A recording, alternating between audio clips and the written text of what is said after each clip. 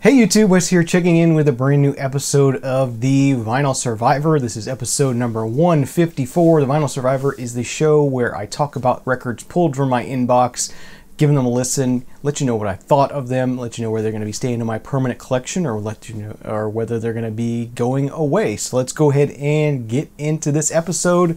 Uh, really awesome episode this time. Lots of killer stuff in here, so uh, don't fall asleep. First one we got here is a pop artist from uh, England. This is her debut album from 2016, and that is the artist Lapsley with Long Way Home on XL Records. And yeah, Lapsley is an English art pop artist. Uh, really, really cool. Really dug her vibe. As, as you know, if you follow my channel, I do like this the, female pop vocalist a lot, and uh, yeah, she she definitely delivers as far as emotion and, and cool cool vibe and, and enjoyable listening. Uh, so yeah, definitely definitely enjoyed hearing this. And this was the Vinyl Me Please release of the album. Did come with an art print as always, and that one's by uh, Jose Mertz. This one had a couple of extras with it. Um, also came with a poster. So there is the poster. I think this might have been the Vinyl Me Please exclusive as well. Nice sort of handwritten note, not handwritten, well, handwritten, but not, you know, printed, not, not handwritten directly. And then the inner sleeve had lyrics as well as a bunch of photos as well. And then finally the vinyl itself, white pressing, blue label, really, really nice. Matches the album artwork quite well. Uh, so yeah, that's Lapsley's debut album, Long Way Home. Uh, a lot of Vinyl Me Please members really hated this one. I loved it. It was right up my alley, as I said, being female, female pop vocalist. Uh, yeah, definitely, definitely dug it, and uh, definitely this one's staying in my collection. So that one survived. All right, next up we have the uh, second album from Ariana Grande titled My Everything, uh, released in 2014. This one's been out longer than I thought. This one had a bunch of hits on it. Really big, really big hit for her. Kind of a breakout album, I guess you could call it. It's got uh, Problem, Break Free, Love Me Harder. Here is the gatefold with some just some liner notes on it. Um, and this was a Hot Topic pressing. I don't know if it was a Hot Topic exclusive, but it was pressed on this sort of very bright purplish kind of vinyl. Uh, really pretty. Definitely dug that. That's the second album by Ariana Grande. She definitely goes a little more uh, electronic pop vocalist here. Her first album was very R&B influenced. Um, she gets compared to Mariah Carey a lot and definitely had a more of a Mariah Carey sound. Although this one does too as well. She does do some some sort of R&B type things on here, and it definitely has that sort of vibe to it as well. But a little more, little more dancey, electronic, uh, a little more hip hop to it. So it was a good album and definitely an enjoyable album for me. So this one is a keeper. It is staying in my collection. All right, next up, going all the way back to 1984, we have uh, Peter Mergener and Michael Weisser with Beamscape. Uh, this duo was also known as the group Software. They do very, very spacey ambient electronic music. Um, if you just took out all the the sort of ambient electronics of, of like Pink Floyd and just put that you know, stripped it down, took out the guitars and the vocals and everything. It's kind of what this sounds like. It has a very electronic, ambient, spacey kind of soundtracky kind of vibe. Definitely something to put on uh, in the dark and, and close your eyes and just lay down and chill and enjoy enjoy the trip, as I as I like to say. Uh, yeah, really, really killer. This was a this was an excellent, excellent listen. I definitely uh, highly recommend this if you find it out in the wild. Um, if you buy it online, I think it goes for a, a decent bit of money, uh, but uh, this is something you might find in a dollar bin somewhere. Definitely highly, highly recommended. This was killer, sort of, if you're into spacey electronic stuff. Uh, yeah, I love this one a lot. Uh, this album was released in Germany on the Innovative Communications label. So there's the there's that label. Pretty cool. Uh, so yeah, Peter Mergener and Michael Weisser, uh, otherwise known as the group Software, with their album Beamscape from 1984. Killer, killer, spacey electronic music. Um, if you've ever listened to the Hearts of Space radio show that used to play on public radio, uh, it's it's yeah, it's something that would fit right in there. Very, very dreamy, spacey electronic kind of stuff. So really cool. Really dug this one. It was a it was a cool find, and I'm glad I really dug it. I definitely love this one. Definitely staying in my collection, so definitely get a get a thumbs up on this one as a keeper. And as I said, if you find this one for cheap, if you find this in the wild, it's probably going to be cheap because the people are probably not going to know what they have. But uh, if you try to buy this online, I mean, it's not super expensive, but it's not a it's not a five dollar record, you know. So uh, yeah, cool record. Definitely recommended if you uh, if you happen to find it. All right, next up we have the 13th studio album by David Bowie titled Lodger, and I never know exactly how the how the cover on this one is supposed to go. Um, I think maybe it's meant to be like this. But yeah, the uh, 1979 album, the last album in the what is known as the Berlin trilogy uh, from David Bowie. Uh, probably one of the least loved of the Berlin trilogy, maybe. Uh, but this one, it's good through and through. It's got it's it's very solid. Uh, the Berlin trilogy, he worked with uh, Brian Eno, and definitely has a very Eno-esque sort of sound to it. It's got some world influence. It's got some sort of a, a lot of layering of, of textures and sounds and definitely has a cool feel to it. Uh, and yeah, I like this one quite a bit. It's, it's it's a solid album. It's not there's no duds on here. It's a really good album just to to play through, and you're not going to hear any big Bowie hits, and you're going to hear, but you're going to hear some good Bowie on this one. So yeah, definitely a highly recommended one from uh, for Bowie there. If you happen to find this one, or all these albums have been reissued recently as well, so that's that's a nice thing. You can pick them up for not too much money. The originals tend to go for bigger money these days since he's passed. And this is on the RCA Black label.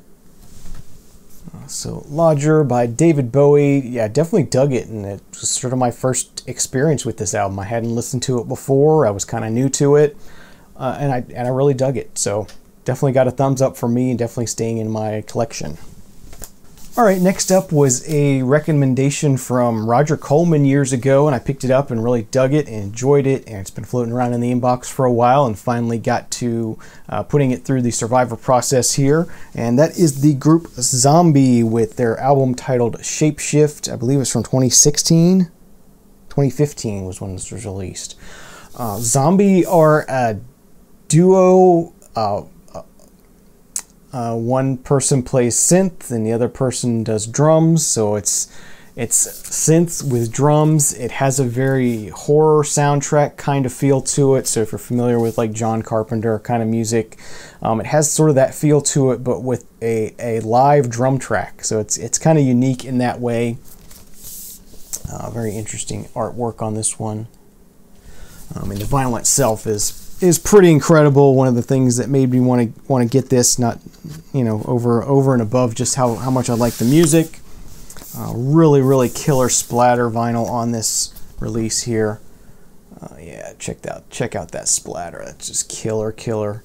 Um, I should have a I should have a light behind this because the the blue part is sort of translucent, so you can actually see light shining through, like what I'm seeing behind me. Um, is really really cool. I actually did a Instagram post on this a while back, and yeah, makes makes for some cool makes for some cool photos to shoot the shoot the splatter on that one. Uh, but yeah, just sort of a the best way I can describe it is like John Carpenter horror movie score with with live drums. Uh, yeah, really really cool. Really dug it. Uh, definitely recommend uh, checking them out if you haven't. If you're interested in that kind of thing. All right, next up, speaking of film scores, I have uh, probably one of my probably my favorite film score of the last decade, um, if not more, and that is the score to the movie Interstellar, done by Hans Zimmer. Yeah, just killer, killer uh, score. Definitely has a very ambient feel to it, mixed with a, a, a, church, a big church pipe organ. Very interesting. It's like it's not like a traditional Hans Zimmer score at all.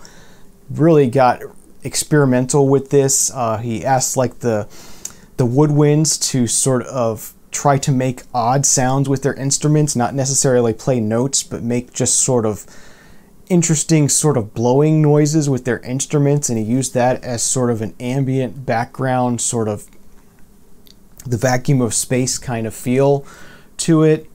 Uh, just yeah just an incredible score. I just i can't can't say enough good things about how much i love this score. Um, so yeah definitely had to have this on vinyl have it on cd as well. Nice sort of fold out poster liner note sort of thing here.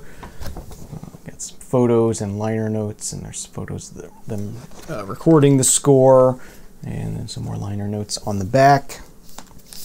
And pressed on two LPs on black vinyl. Uh, so yeah, that's the score to Interstellar, and as I said, uh, probably my favorite film score of the last decade, and uh, just had to have this on vinyl and love listening to it. It's very awesome, just sort of spacey mixed with cool church organ like sounds and just uh, it's I don't know it's it's just like if if somebody asked me how to how to make a perfect film score it would sound like this kind of almost. I mean, maybe add in some electronica in there but yeah this is just awesome. Definitely definitely glad to have this and absolutely staying in my collection and probably will be one of the last albums I ever get rid of if I ever do get rid of albums all right, next up, we're moving into some fusion jazz, and this is the 1977 album by ECM artist Pat Metheny titled Watercolors. Uh, definitely some nice, uh, sort of cool fusion jazz, but still really, really good, really enjoyable. I definitely, I definitely like this. Uh, at times, it can get a little cheesy sounding, um, a little too sort of you know, it's we're right at 77 here. We're getting starting to get into the late 70s, early 80s when fusion jazz got real sort of keyboardy kind of not not good or not as good. Uh, but this one this one definitely has some good uh, definitely side one and then the closer on side two, which is like a 10 minute suite or 10 minute song called Sea Song really really enjoyed that one. That one's a little more a little more ambient. Um, definitely has sort of a a, a, a vibe to uh, not a vibe but sort of a, a, a narrative to it. It's really cool. There's the ECM green label that you collect ECM records you'll be well familiar with. This is a U.S. pressing, not a German pressing. Uh, so that's uh, Pat Metheny's Watercolors on ECM. Definitely dug it. Uh, enjoyed it, and it's going to be a keeper for me. I'm staying in my collection. All right, next up, got a little bit of folk music to talk about here. This is on Folkways Records. This is Jack Elliott doing Songs to Grow On, which are songs by Woody Guthrie. So you got Jig Along Home, the car song, Swim Swim, you know, Put Your Finger in the Air, Woody Guthrie kid songs, really enjoyable, really brings me back to my childhood. So singing some of these songs and other songs uh, that are like it. This was from 1961. Is the release on this one. Done by Ramblin' Jack Elliott. This one does come with the booklet with liner notes in it and of course the lyrics so you can sing along too if you don't know the words. But they're all pretty simple. There's that lovely Folkways blue and silver label. Uh, so yeah, nice solid Folkways release. I dug it, and it's uh, staying in my collection. That's a keeper for me. All right, next up, moving back into the modern times, and uh, yeah, we're just we're talking about some pop again, but this is not a female pop artist. I guess they're going to put this in the put this into the queer pop realm. This is Perfume Genius with uh, the album uh, put your back into it. I believe this is his second album from 2012 is when this was released. Pretty cool. Definitely a little more a little more going on than his first album. His first album was very stripped down, um, kind of just you know piano and vocals kind of thing. This one has some more effects on it. He's playing playing in the studio a little bit. A lot of people didn't seem to did not not like that that he did that, but uh, some really good songs on here. Really, uh, still very emotional, still very much dealing with relationships and you know the how the world deals with with queer people and stuff and things like that. Growing up and all that. Um, insert with lyrics on it. It is on the Matador label. Uh, so yeah, it's uh, Perfume Genius. Some good, just some good pop music. If you like uh, like Bon Iver, you might like this kind of stuff. A little bit sort of experimental pop, male uh, male vocal kind of stuff. Uh, not not not folksy like Bon Iver is, but definitely you know kind of experimental like Bon Iver is, and very very emotive and emotional and very lush and chill and uh, really good stuff. So yeah, definitely like this one. I collect Perfume Genius. So this one is uh, absolutely staying in my collection and enjo enjoyed listening to it. All right, and lastly, we have the third studio album from Julian Lennon titled Mr. Jordan from 1989. Uh, there is the back cover. This is very much a straightforward kind of late 80s pop rock male vocal kind of thing. I, I really had trouble with this one. I couldn't get into it. Um, it just had a very a very sort of commercial sound that just didn't didn't strike me at all. Uh, it just sounded like sounded just kind of like background music to me, unfortunately. So I just, I really didn't dig this one. Uh, it's on the Atlantic label. The final one, the only one that didn't make it in the collection this time, Julian Lennon's Mr. Jordan from 1989. Just too much of an 80s pop rock kind of feel that just felt it felt generic to me and I just I didn't like it personally. No, no, offense if, if you like this album, but it just wasn't for me. So that's not staying in the collection. So that does it for this episode of The Vinyl Survivor. Hope you enjoyed the video. Thank you for watching. Thanks for tuning in. Have a great day, great night. Please subscribe if you aren't already to be kept up to date with uh, future videos I make. I do a lot of videos here on the channel about vinyl and music and uh, related things. I think you'll enjoy it. Remember, there's no bad music, only music you don't like. Cheers.